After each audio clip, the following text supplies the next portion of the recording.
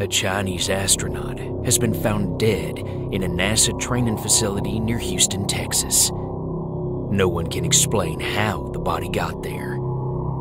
It showed signs it had been exposed to the vacuum of space. I'm told the man's lungs exploded.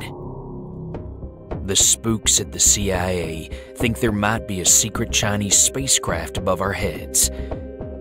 I think something else is going on. I think the dead man is connected to a kidnapping that happened seven years ago, to a new drug being developed by NASA, and to the serial killer they're calling the Texas Reaper. But no one will believe me because I'm a head case.